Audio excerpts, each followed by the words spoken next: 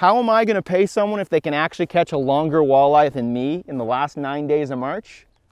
Straight cash, homie. If you're gonna be anywhere in the world in the vicinity of a walleye between March 23rd and 31st, you need to go download the Fish Donkey app, sign up for the Uncut Angling versus Everybody tournament for just $10, which is like the cost of a tub of minnows basically nowadays, or a pair of coffees. No, it's not realistic you beat me, but there is a chance. So you're telling me there's a chance. And $10 is a no-brainer insurance policy in case you do catch a big walleye, and so far the prizes are already crazy. First place longest walleye will get $1,000 cash from me along with a $500 prize pack from Frostbite ice fishing gear. Second place is a giant 10 inch HD Aqua-Vu underwater camera.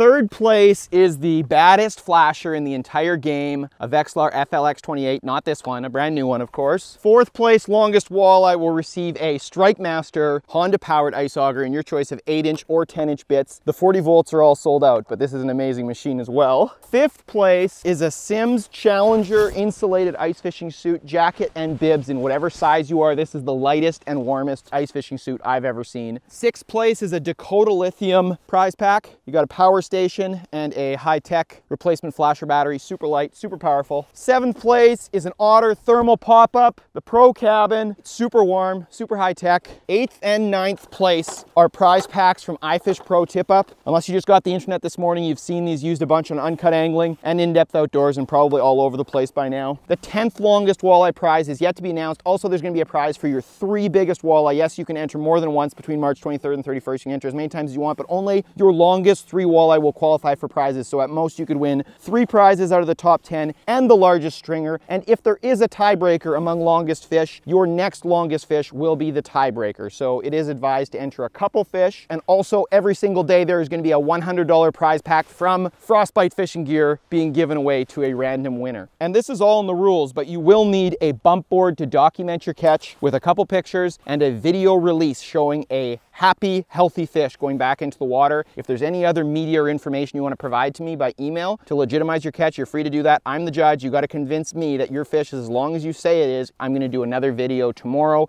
that just goes over the whole entry process. Basically, any bump board that is mass produced, commercial grade, and has increments down to one quarter inch will be totally fine. If it's a bump board style that is with a sticker, that's not going to be any good because these stickers vary tons. They are not consistent or accurate for something like this. So we're looking for more of an engraved measuring board. This folding one from Rapala is not engraved, but we are going to allow it for this event and we'll have a complete list within the rules showing the other ones that we'll allow. And also if you want to email me to clear your own bump board that you have, you can do that and I'll take a look at it. As long as it's not homemade, it should be good. The full rules can be found on the Fish Donkey app or at fishdonkey.com. This is Uncut Angling versus everybody. Come at me.